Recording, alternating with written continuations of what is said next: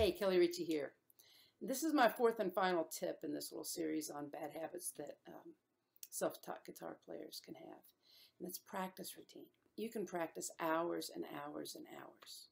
You'll probably play, maybe have some fun, get frustrated, learn pieces of parts of songs. More often than not, almost across the board, develop bad habits from what I've seen. Again, you get frustrated and you set the guitar down for a while, you pick it back up and try again. You want a guitar teacher that's going to help you, one, identify any bad habits, identify any weaknesses, you know, give you material or instruction that's obviously going to correct those things and move you forward, getting you playing what it is that you want to play.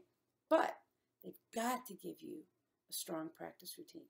There's a difference between practice and playing when you're practicing, you want to be learning things that are going to help you build a solid foundation in general, plus correct any bad habits, fill in the holes for anything that you don't know, and structure your time appropriately. Now, I ask my students to practice, and I mean practice, really hard work, 20 minutes a day.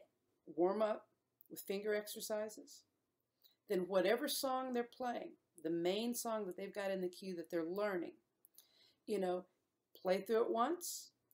Anything that's weak, chunk that down and work on that section, play through it again. And then if they want to be a lead player, whatever key that song's in, practice with a metronome or ideally a rhythm track, playing your pentatonics or whatever scales you're using back and forth. So, Kelly Richey, hopefully this series has been helpful.